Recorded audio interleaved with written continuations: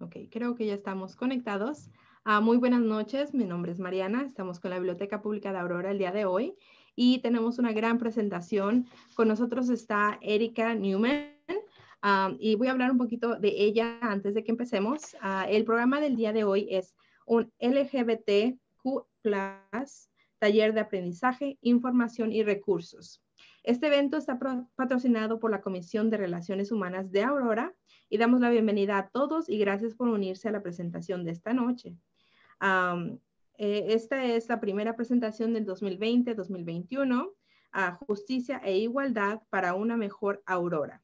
Esta serie de eventos presentada por la Comisión de Relaciones Humanas de Aurora. La AHRC está comprometida con terminar discriminación, abrazar la diversidad y empoderar Aurora. A través de estos eventos esperamos brindar nuestra comunidad información que nos hará una mejor Aurora. Eh, tenemos a Erika Conca, es una poeta latina queer, humanitaria, activista, estudiante, maestra y soñadora. Ella es hija de inmigrantes, nació y se crió en el lado sur de Chicago, Illinois, terminó la escuela secundaria en El Paso, Texas, y vivió en México como adulta durante 10 años. Trabaja a tiempo completo para una organización sin fines de lucro, enfocada en la prevención de la violencia juvenil. Ha viajado por todo el país compartiendo su, su poesía e historia en inglés y español para educar, empoderar y alentar a jóvenes y adultos a ayudar a prevenir la violencia. Su experiencia con el racismo, la discriminación, el odio y la violencia han determinado de hacer todo lo posible para ponerle fin. Le apasionan las personas, hacer la diferencia y dejar un legado de amor. La oradora Erika Newman compartirá con nosotros el día de hoy su experiencia y también recursos para mejorar nuestra comprensión, comprensión de los problemas únicos que enfrenta la comunidad LGBTQ. Bienvenida, Erika. Mariana, muchísimas gracias por esta gran bienvenida y les doy las buenas noches a todos que están acompañándonos esta noche y los que nos están viendo por grabación igualmente. Gracias por su, su tiempo. Entonces voy a compartir mi pantalla. Mariana, me avisas por favor si no funciona porque ya sabemos que estas cosas de la tecnología no siempre funcionan como uno quiere.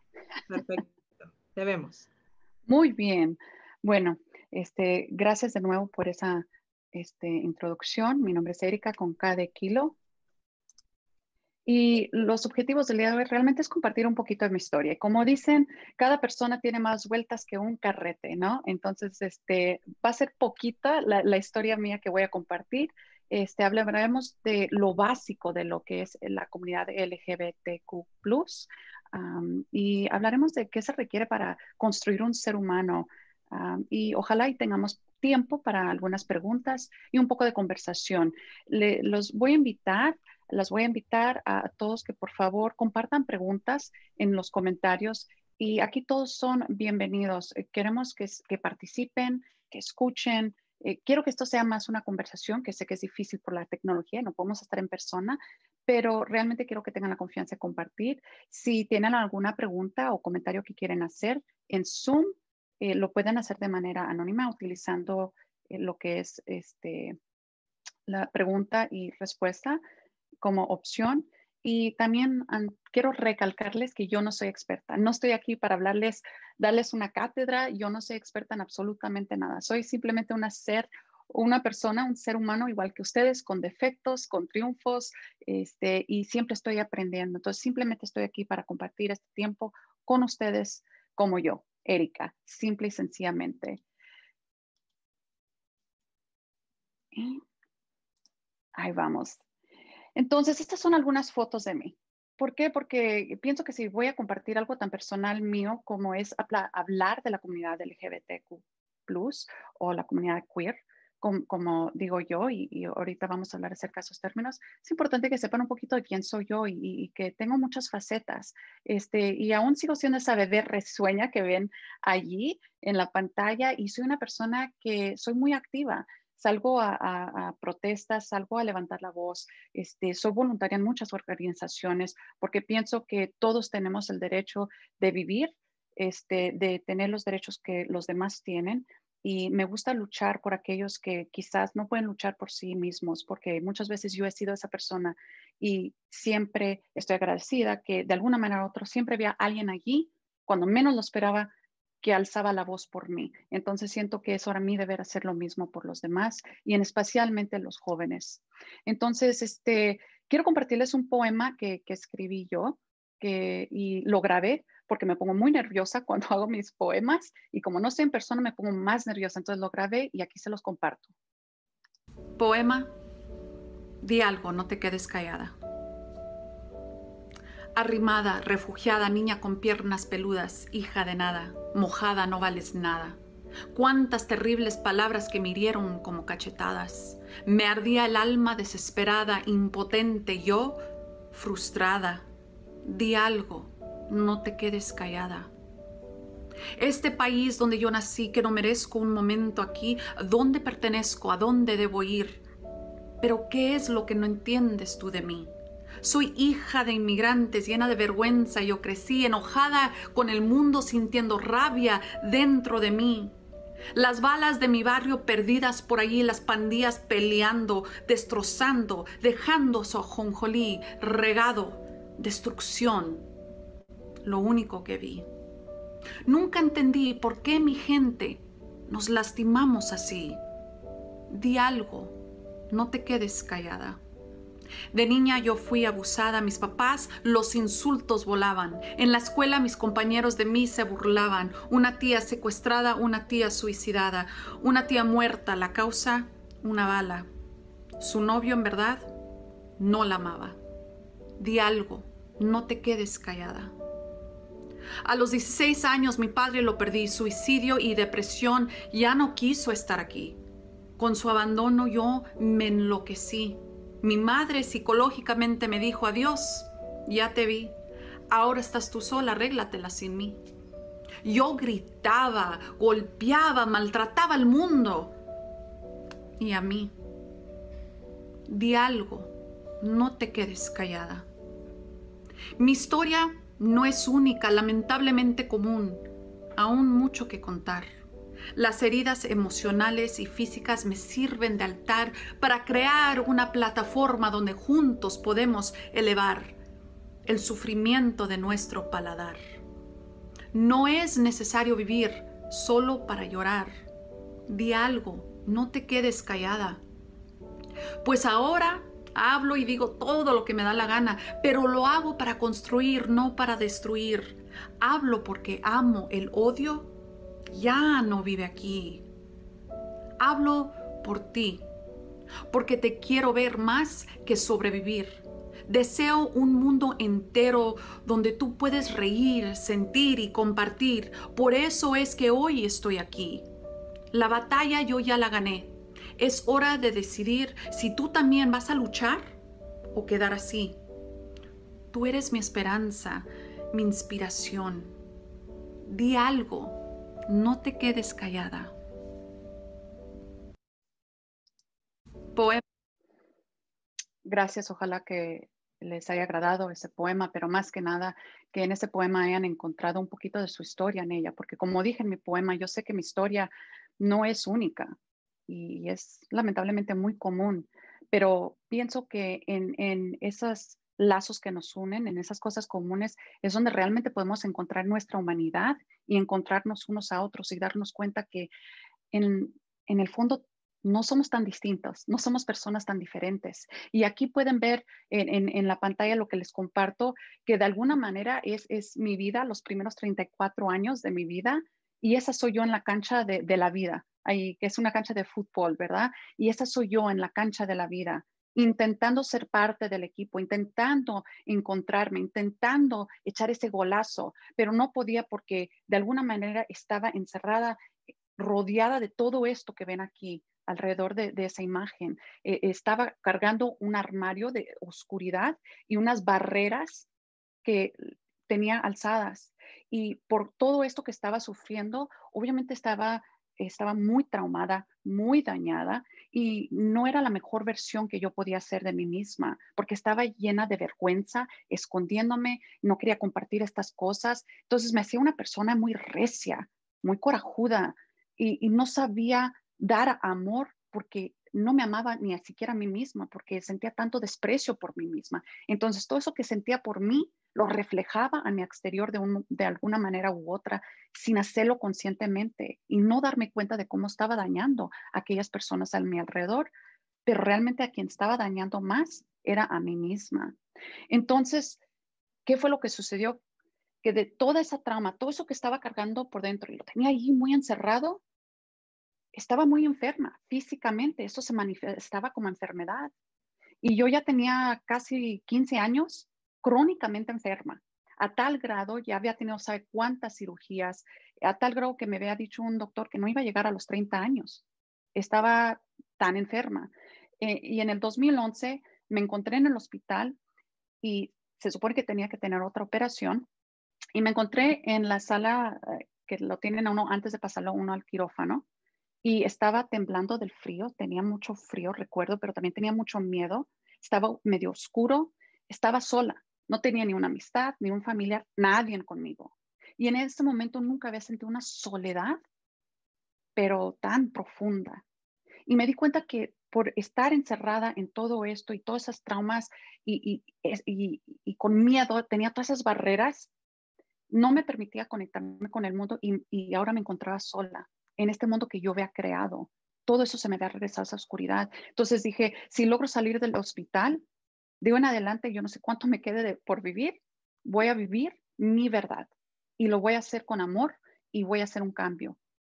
Y da la casualidad que llega el doctor y me dice, Erika ya no necesita cirugía, acabamos de ver sus exámenes es que, le hicimos antes de la cirugía y ya no, ya no vemos ahí nada que veíamos antes. Salí del hospital con vida nueva. Fue un milagro del universo que me mandó y no he desperdiciado en ningún momento desde ese entonces. Entonces, por eso es que en el 2011 por fin decidí salir del armario, como dicen en inglés, out of the closet, que, que porque uno ahí es donde esconden los esqueletos, ¿no? Lo que uno no quiere que nadie vea. Pero no era, no era nada más que salir del armario para decirle al mundo, soy lesbiana, es también, ya no tengo vergüenza de todo lo que me sucedió. Yo no tuve la culpa de todo esto, esto que me sucedió. Yo no tuve la culpa de que mi papá se haya suicidado. Yo no tuve la culpa de haber sido abusada. Yo no tuve la culpa de a veces haber sido una persona este, corajuda, chismosa, criticona. Pero ahora que ya tengo este nuevo amor, voy a vivir de esa manera. Salí de todo eso y lo, solté y lo dejé atrás. ¿Y qué fue lo que sentí? Una libertad como no se imaginan. De repente ya no traía ese cargo, como vieron en la cancha, y sentí una gran paz, una gran alegría. Todas esas paredes yo ya las había derrumbado. Pero ¿qué sucedió? Que yo tumbé esas paredes en mi vida, pero otras personas en mi vida todavía estaban con sus barreras y viviendo tras de esas barreras, porque es lo que los protegía a ellos, de todos esos traumas y dolores que ellos habían vivido. Entonces, de pronto, con mi familia me encontré con esa barrera de rechazo, de odio y de desprecio. Y yo soy una de las afortunadas, porque yo salí del closet ya teniendo mis treinta y tantos años. Pero hay aquellas personas que salen del closet cuando están más jóvenes y los echan a la calle los maltratan este, y a veces hasta los matan. ¿Por qué? Y vamos a hablar del por qué. después les continúo mi historia, pero quiero compartirles que una de las cosas más dolorosas que llegué a escuchar en esos momentos de rechazo fue que alguien en la familia me dijo, ahora entiendo por qué tu papá se mató. De yo tener una hija como tú, yo haría lo mismo. Y si en este momento tuviera una pistola, yo mismo me daba un tiro porque eso es mejor que tener que estar en esta vida que tener una persona como tú en mi vida. Fue algo verdaderamente doloroso y hubo muchas otras cosas. Y a, y a lo mejor ustedes están juzgando en este momento a esa persona, cómo es posible, o conocen a personas que quizás hayan dicho esas cosas, pero quiero decirles que no debemos de juzgar, porque cuando uno tiene una reacción así, hay que entender el por qué. Y cuando podemos entender por qué nos da tanto miedo que una persona nos diga que es gay o que es lesbiana o bisexual, realmente es una reacción de sobrevivencia que tenemos como seres humanos a lo desconocido. queremos sobrevivir. No entiendo eso, entonces voy a defenderme, voy a levantar barreras. No quiere decir que es la reacción correcta. Este, pero lo que pasó, lo que pasa y lo que yo he aprendido, cuando alguien me dice fuera aquí, siento ese rechazo, ese desprecio, no tiene nada que ver conmigo, sino con esa persona. Entonces he aprendido que la manera en que otras personas me tratan no es un reflejo de quién soy yo, sino de quién son ellos. Y a veces las personas tienen miedo a lo desconocido. Es una falta de conocimiento, falta de recursos, que no tienen con quién hablar, a dónde ir, no tienen personas en sus vidas que lo apoyen. Se preocupa uno por el que dirán. ¿A poco no se preocupa uno por el que dirán? Pero ¿qué van a decir?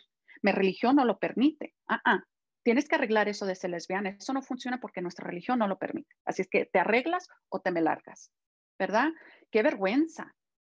No tengo a dónde recurrir. Mi familia no va a aceptar esto. Mi familia no te va a aceptar. No va a aceptar que yo tenga una hija así. Eh, eh, entonces, prefiero rechazar a mi hija que rechazar a la familia. ¿Por qué? Porque mi hija pues va a tener que entender y a fuerzas va a tener que regresar. Muchas veces eso es lo que, lo que se piensa. Entonces, cuando uno puede entender de dónde viene ese rechazo, entonces, ya que sabemos esa raíz, podemos empezar a crecer de esa raíz y aprender. ¿Y cómo podemos hacer eso? Con el conocimiento. Entonces, esto es lo básico. Recuerden, yo no soy experta ni soy maestra. Yo lo que les comparto es lo que yo he aprendido. Yo ya tengo nueve años que salí del armario, del closet, como dicen y todos los días estoy aprendiendo algo nuevo y me doy cuenta de lo poco que sé. No tiene nada de malo hacer preguntas, eh, decir no sé. Está bien. Si yo, que soy lesbiana, que soy parte de la comunidad queer, no lo sé todo, está bien que ustedes no lo sepan. Digo, yo soy latina, pero por el hecho de ser latina no quiere decir que sé todo lo que tiene que ser, ver con ser latina. Cada persona es una persona individual. Cada persona es muy respetada y se debe respetar. Entonces, yo no voy a decir que porque soy latina, yo lo sé todo de ser latina. Yo soy la autoridad. Igualmente con esto. Entonces, quiero que se sientan con la confianza de saber, está bien no saber. Entonces, ¿qué viene siendo LGBTQ? Empecemos con la Q. Que la Q se, dice que es queer o queer en español es como se pronuncia. Viene siendo un término sombría. Es decir, todos aquellos otros términos que son parte de la comunidad arcoíris, porque es nuestra bandera de la comunidad arcoíris, es decir, todos son bienvenidos aquí. Todos cabemos, como dice, bajo ese paraguas, esa sombría. Y la L es para lesbiana, la G es para personas gay, la B es para personas bisexual, la trans, la T es para personas trans, y luego hay asexual, intersexual, y por eso decimos LGBTQ, porque hay muchas otras identidades. No termina aquí. Y por eso es que muchas veces en lugar de decir que soy gay o lesbiana, digo que soy queer. ¿Por qué? Porque quiero sentir que todas aquellas personas que son diferentes están incluidas en ese término. Es igual que cuando alguien me pregunta que, quién soy, digo, yo soy latina. En lugar de decir soy colombiana o soy ecuatoriana o soy, yo digo que soy latina, porque quiero que todos nos sintamos incluidos y que nos vean como una comunidad en lugar de separados. Entonces, queer es un término simplemente eso, sombría. LGBTQ es diferentes maneras de que las personas se identifican. Yo por ser, yo soy como que hice parte de la L, lesbiana, es decir, soy atraída a otras mujeres. Bueno, estoy casada, entonces realmente nada más estoy atraída a una mujer que viene siendo mi esposa. Pero entonces, ese es un ejemplo de lo que quiere decir la LGBTQ o queer.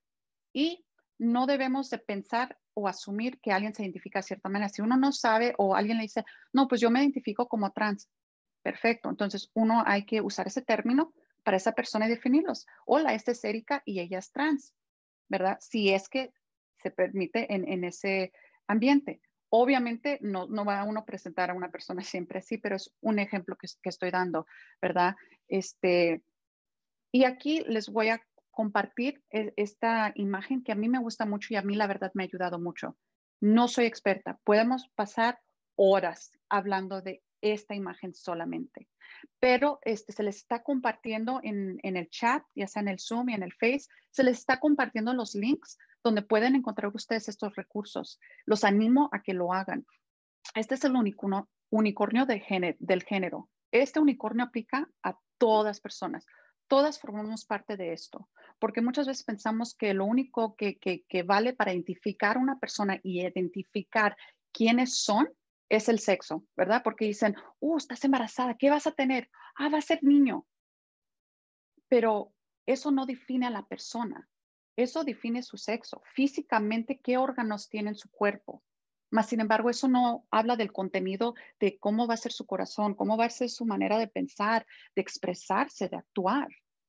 Somos muy complejos los seres humanos. Entonces, aparte de tener el sexo asignado al nacer, que puede ser mujer, varón u otro, es decir, puede nacer alguien con partes de mujer y partes de varón. Y eso no es abnormal en lo absoluto. Eso es algo que ha estado sucediendo durante toda la historia y también sucede en la naturaleza en muchísimos animales. No significa que alguien tiene que ser arreglado, curado o que necesite cirugía. Así como nacen, están perfectamente bien. Son seres únicos y divinos y perfectos tal y como son. Aparte de eso, de mi cuerpo está mi identidad de género. Es decir, mi cuerpo puede ser de hombre o asignado hombre, pero a lo mejor yo me identifico como mujer en mi, en mi cerebro. Y a lo mejor mi manera de expresarme, eh, es decir, vestirme, la manera en que camino o hablo, puede ser de alguna manera femenina. Y luego hay hacia quién me siento la atracción sexual, a quién siento la atracción romántica. Y están diciendo, Erika, esta es muchísima información. Correcto. No pretendo que lo entiendan todo. Simplemente lo único que estoy haciendo es como quien dice, quitando la curita levantándola un poquito para que este, este sea un punto de comienzo de una conversación, para despertar esa curiosidad y darnos cuenta que no es nada más hombre y mujer, que no es nada más así o así. Todos somos como queremos ser, como somos, este, como nacemos. El expresarnos de una manera u otra no tiene nada, malo, nada malo. Antes se decía que una mujer que usaba pantalón no era mujer era marimacha, eh, qué rara. La maltrataban y decían muchas cosas de ella. Y ahora es perfectamente común que una mujer use pantalón, ¿no? ¿Cómo ha cambiado la sociedad? Entonces, es decir, nosotros tenemos esa habilidad de cambiar nuestra manera de pensar y darnos cuenta realmente qué tiene de malo que una mujer use pantalón. Realmente qué tiene de malo que un hombre use una falda. ¿A quién está maltratando? ¿A quién está dañando? ¿A quién le está faltando el respeto?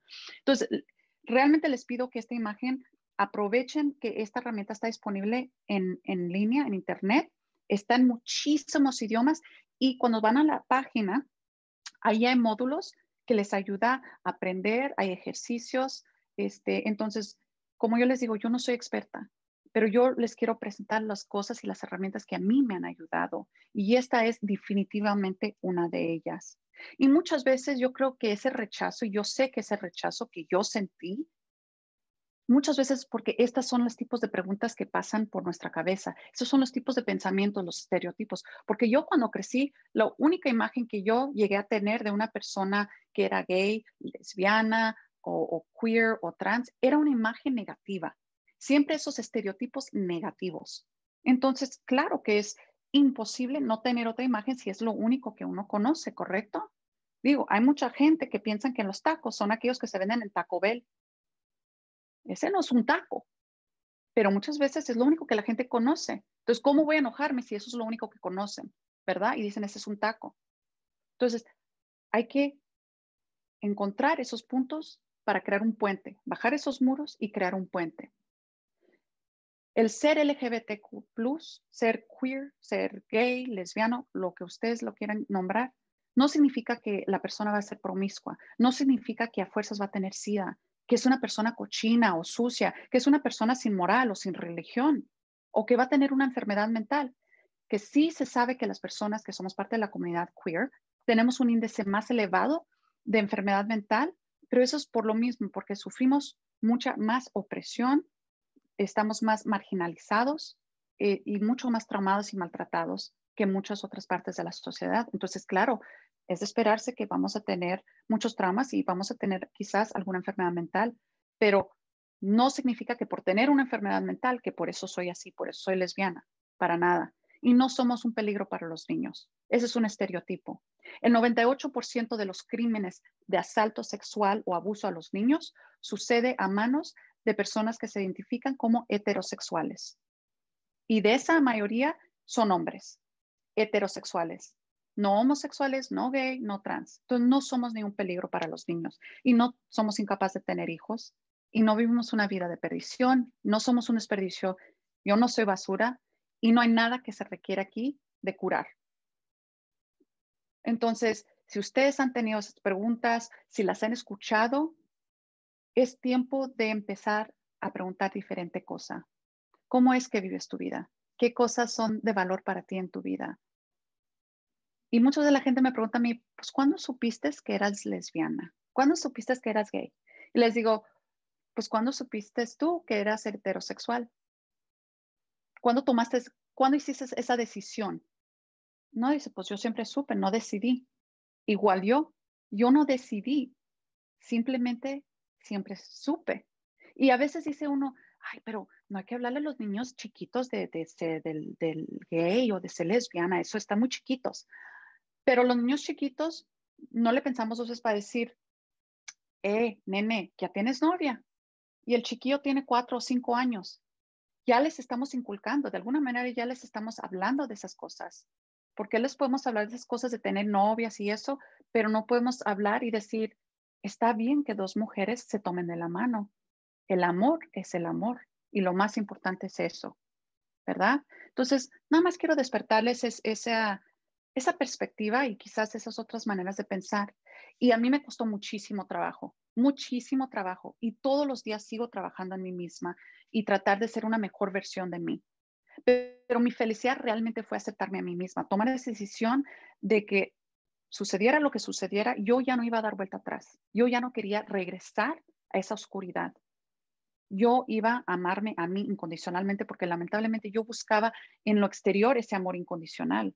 Y aunque mis papás me habían prometido ese amor incondicional, me dijeron, nadie nunca te va a querer, querer como tus papás. No puedes confiar en nadie más que con tus papás. Mas, sin embargo, en el momento que dejé de ser esa imagen que ellos tenían para mí, sentí ese rechazo. No los culpo y no los juzgo. Entiendo el por qué tuvieron esa reacción.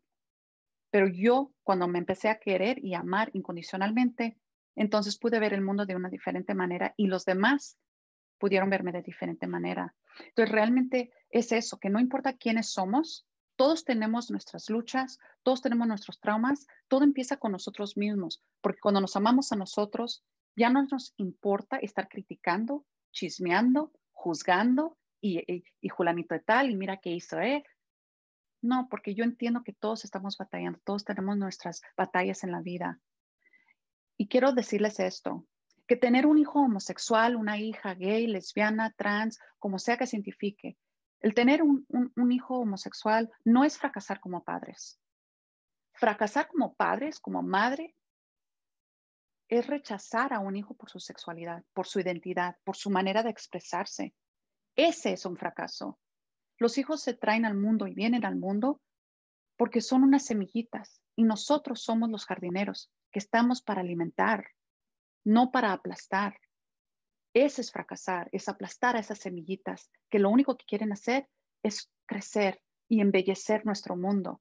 Entonces, ¿por qué no darles esa oportunidad? ¿Por qué no darse a ustedes esa oportunidad de ver crecer una flor que a lo mejor no esperaban que fuera roja y la esperaban azul pero ¿por qué no llenar su vida con esa flor roja y darse cuenta que el color inesperado era el color que más necesitaban en su vida?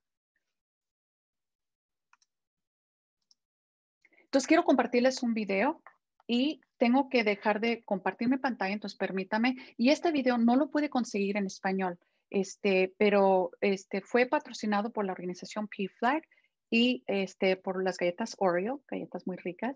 Este, y, es un video maravilloso. Está en inglés, pero no hay mucho diálogo. Se da a entender más o menos lo que sucede. Lo que pasa es que es una pareja ah, donde van a casa de sus papás, de su familia por primera vez para que la conozcan a ella. Y la mayoría de la familia la, acepta, pero el papá es, que, eh, es el que van a ver que está un poquito como, como renuente, como que no la acepta.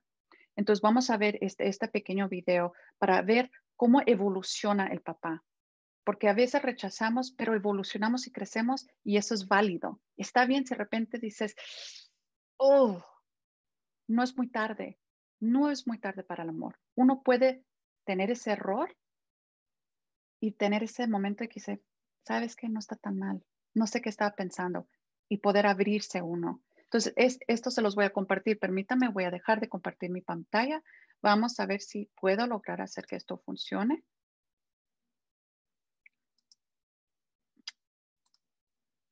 Voy a hacer la pantalla grande. Ahí les va. Hey. You okay? I'm good.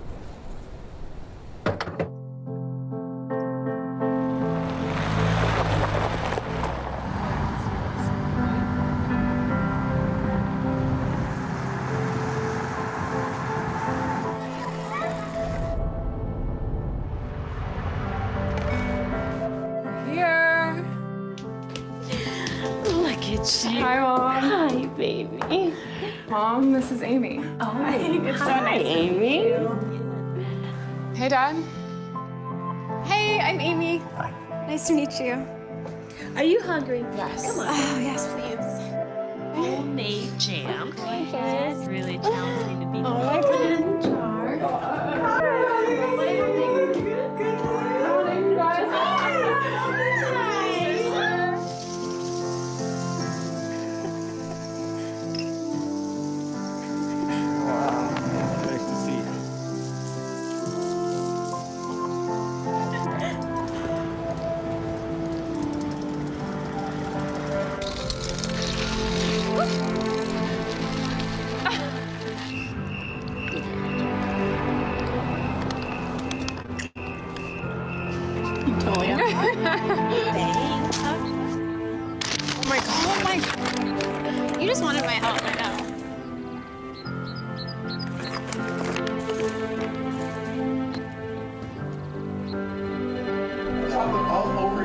You're the cutest this little is enough.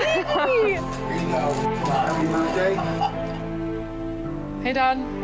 Hey. Night. Night. Good night.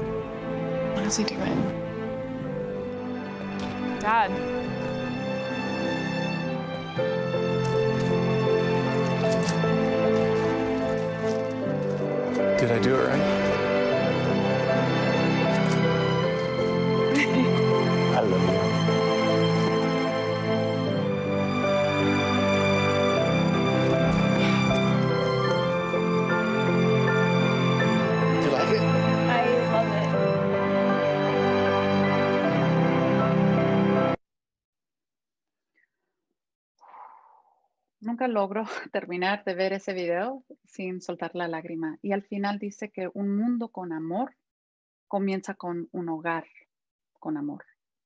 Entonces dejen volver a compartir mi pantalla para poder seguir con la presentación. Y ojalá les haya agradado ese video. Y igual ese video, si van al sitio de web, pueden ver el video y también hay módulos donde pueden hacer preguntas, hay ejercicios y pueden utilizarlos con consigo mismos, con su familia, con amistades, para emprender esas conversaciones y, quizás crear esos espacios de, conversación que son tan importantes. Y ahora regresemos a mi historia, que después de casi cuatro años de estar alejada de mi familia, este hubo un momento de reconciliación en, en la cual ya me aceptaron y este, estos son mis papás, esa es mi mamá, ese es Ángel, porque como saben, mi papá murió cuando yo tenía 16 años, este, pero Ángel ha sido parte de mi vida. De poco después de eso, ya, es, ya no pienso en el tiempo, simplemente para mí es Ángel, es parte de mi vida y digo que son mis papás. Y si ven, mi mamá es una persona ya mayor de edad, pero aún ella a su edad avanzada ella tuvo un cambio de pensamiento, de perspectiva, de corazón. ¿Y por qué? Porque en el fondo mi mamá es extraordinaria, es, es lo mejor de este mundo que yo he conocido, la verdad. Y aunque su reacción para mí fue difícil, yo la entendí y jamás la he juzgado. Pero aquí lo que hay que celebrar es esa transformación, esa evolución. Y ahora tengo una relación que jamás pude haber tenido antes porque yo misma tenía esas barreras y yo no permitía que nadie se me acercara, ni siquiera mi propia mamá. Entonces, gracias a ese dolor que pasamos, ahora tenemos un gran amor. Entonces, ahora con orgullo digo que yo soy la oveja arcoíris de mi familia. Y esa foto al lado que ven allí es mi esposa. Y ella ha estado conmigo desde el 2011, poco después de que salí del closet. Este, yo la conocí y ya tenemos este, nueve años juntas y casadas y tenemos dos gatos y vivimos muy feliz y rodeadas de mucho amor. Y es algo realmente maravilloso y estoy agradecida con la vida porque ahora me da todo aquello que antes yo no permitía porque estaba viviendo en vergüenza, en coraje y preocupada por el que dirán. Cuando me dejé de preocupar por esas cosas, pude enfocarme en realmente contribuir a la sociedad, ser parte de la comunidad y ahora casi que a diario estoy metiendo goles en la vida y estoy muy agradecida por el tiempo que se me ha dado que yo no pensé que iba a tener.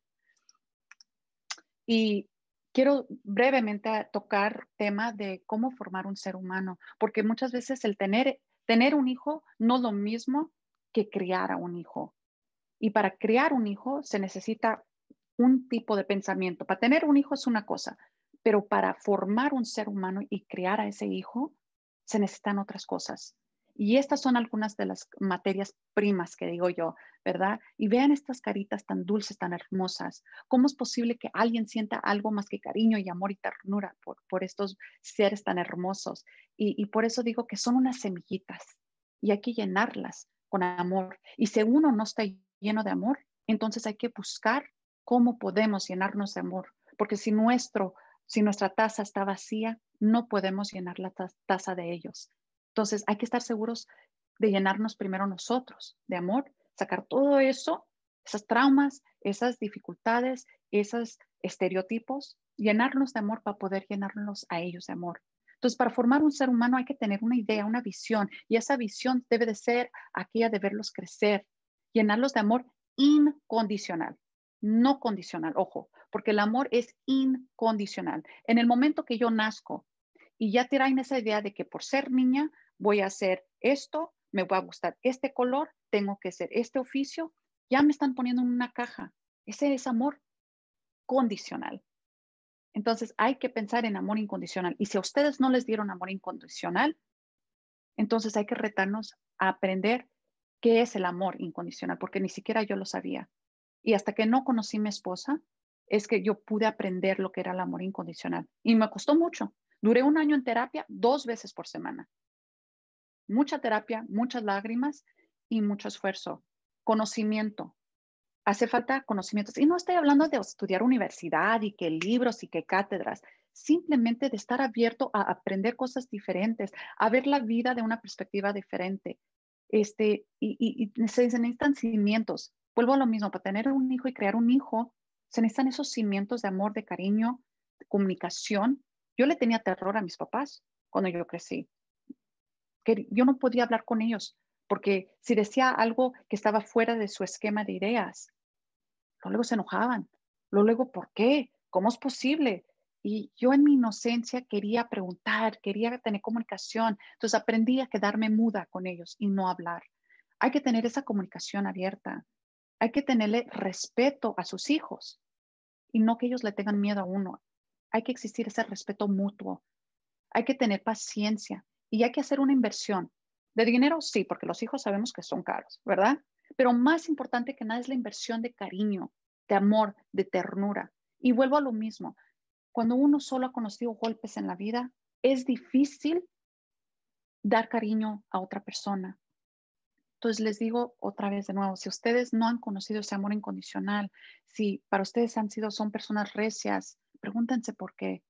Tengan cariño con ustedes mismos, tengan paciencia con ustedes mismos, inviertan en ustedes mismos.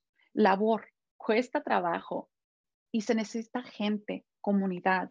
Hoy, por ejemplo, yo estoy aquí no por mí misma, sino por una comunidad de gente que hemos hecho esto posible. Hay personas en la, en la biblioteca, hay personas en, en la, la, este, de las relaciones, de los derechos de las relaciones humanas de Aurora y hay muchas otras personas de otras organizaciones que hicieron esto posible. Entonces, se requiere de comunidad para crear a sus hijos. Si su hijo de repente le dice, papá, yo quiero ser panadero y ustedes todos son contadores en la familia, van a necesitar alguien que, que les ayude a entender qué es ser panadero. ¿Cómo puedo apoyar a mi hijo ser panadero? ¿Quiere ser panadero? ¿Verdad? No tiene nada de malo.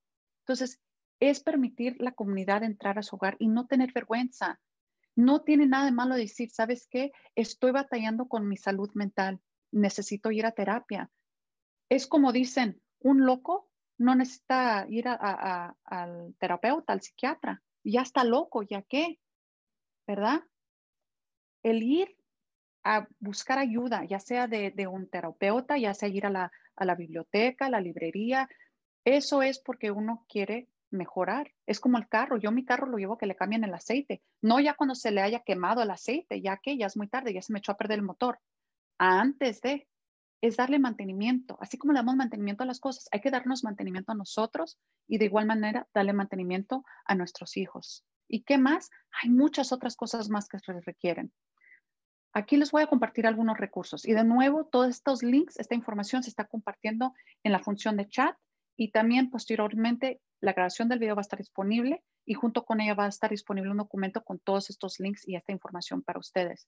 Hay muchos recursos. Yo pensaba que en español no había, pero los hay. Es impresionante la cantidad de organizaciones que hay, que existen para apoyar al conocimiento a, las personas que dicen, por ejemplo, PFLAG es una organización maravillosa. Yo soy parte de, esta organización este, aquí en mi capítulo local de DuPage y realmente ellos ofrecen apoyo, información a personas que están de alguna manera enfrentando cómo tener un hijo, hija o persona en su familia que sea gay, lesbiana y que ellos no saben cómo aceptarlo. Para eso está PFLAG, para ayudarles. No están solos, no están solas, no tienen que ustedes tener las respuestas, simplemente tienen que tener poner su parte para buscar esa ayuda y estamos aquí para apoyarlos. Este, Somos Familia, esa es una ah, organización de California, pero tienen muchos recursos en línea y hay muchas cosas digitales. Es lo bueno de la tecnología que tenemos esa disponibilidad. Y esta otra organización es Familia TQLM y ese es un movimiento para la liberación trans y queer y trabaja a nivel local y nacional.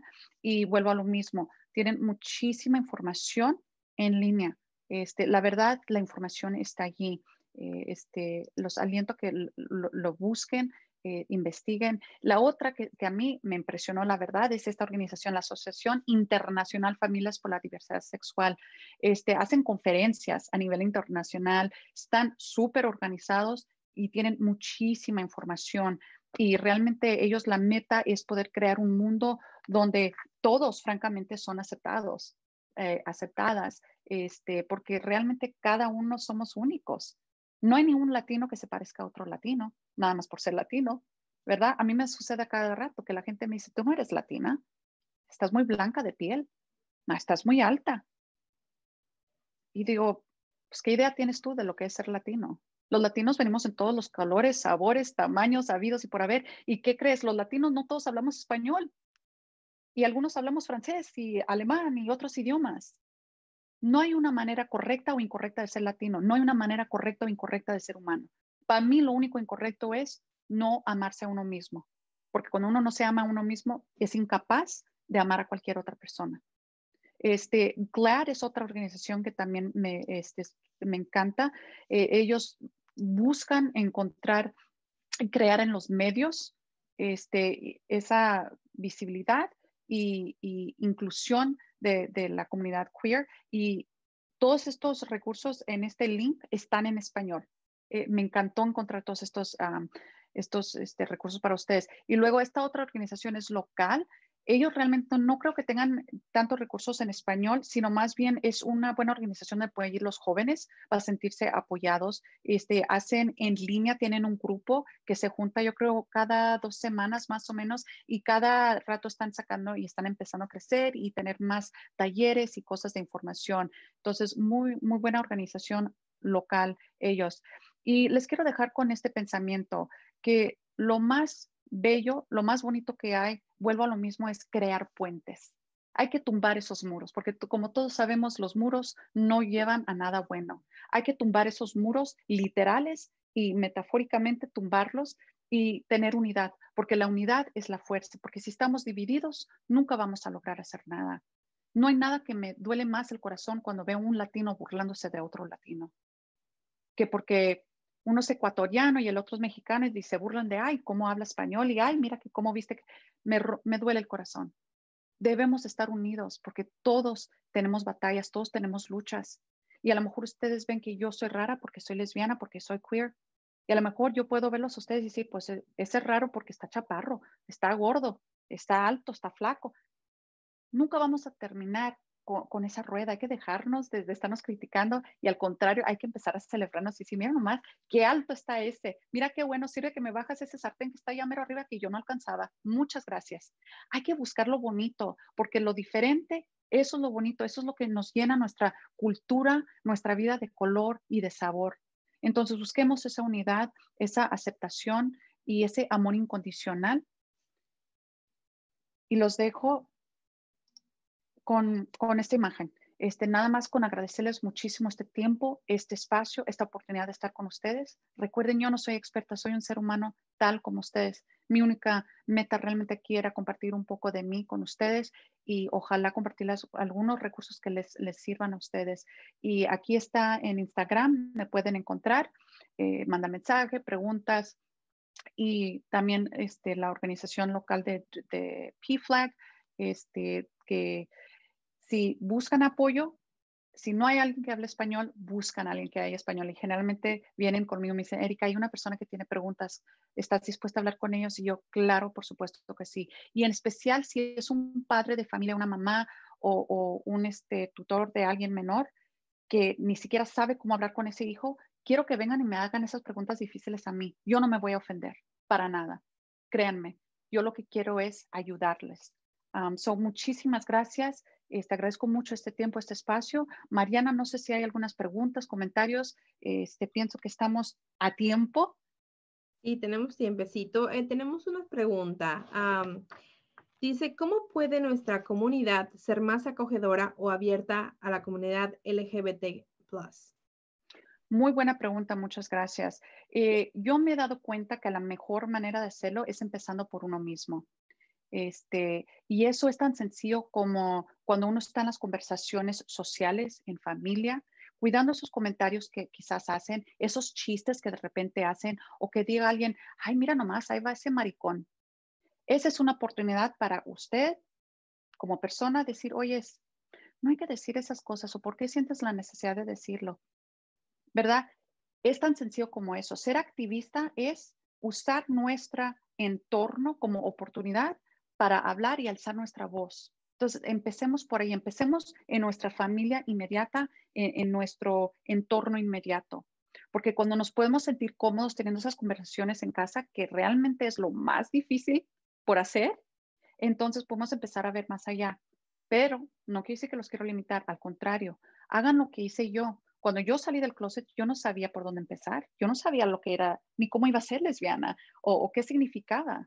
Entonces busqué organizaciones donde yo podía buscar informes, formar partes de grupos donde yo podía hacer esas preguntas, sentirme yo apoyada. Entonces, les hago esa invitación de que por favor busquen estas organizaciones como las que les compartí, PFLAG, todas las otras, y simplemente empiecen a preguntar, empiecen y no teman equivocarse al preguntar o hacer preguntas, porque esa es la manera en que aprendemos. Un error no es error.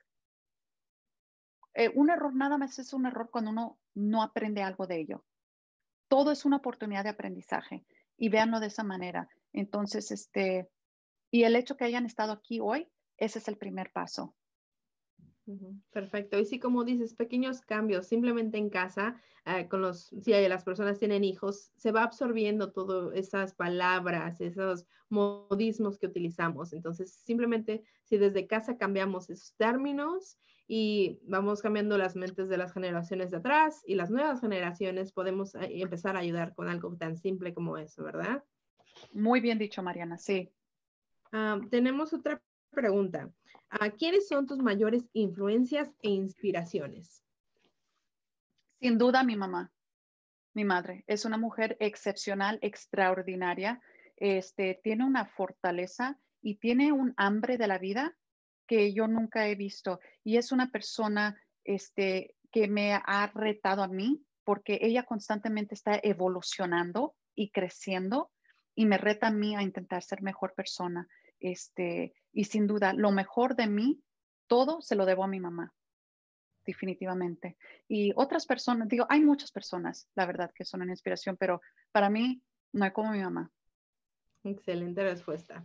Ah, y la última pregunta que tenemos, yo creo, para el momento, ah, ¿cómo crees que la biblioteca puede apoyar mejor a la comunidad LGBT? ¿Cómo la Biblia puede apoyar? La, biblioteca. Ah, la biblioteca, gracias. No, no alcancé a escuchar como que se, eh, se cortó. Este, yo he encontrado que las bibliotecas son centros de apoyo para la gente realmente, no solo en conocimiento de libros, sino que en tener talleres como es hacer esto, crear ese espacio, esa oportunidad de tener talleres, de crear sesiones, este, de tener grupos de información, este, tener libros, videos, todo lo que, lo, que se pueda compartir de alguna manera gratuita. Y es algo que a mí me encanta de las bibliotecas, que realmente es un centro para la comunidad eh, que no tiene precio, no tiene valor.